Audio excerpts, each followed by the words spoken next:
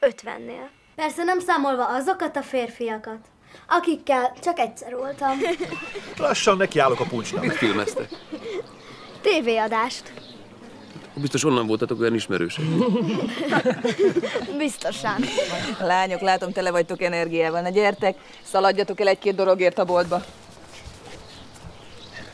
Én szívesen elviszem őket.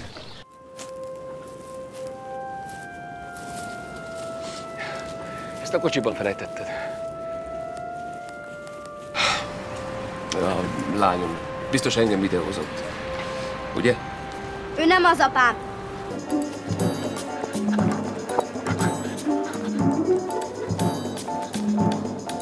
Szórakozik velem.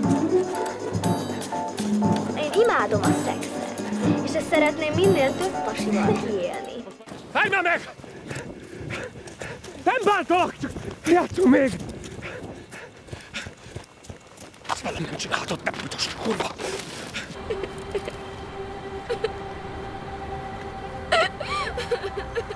Egy millió forint készpénzben, és Catherine a rendelkezésére áll.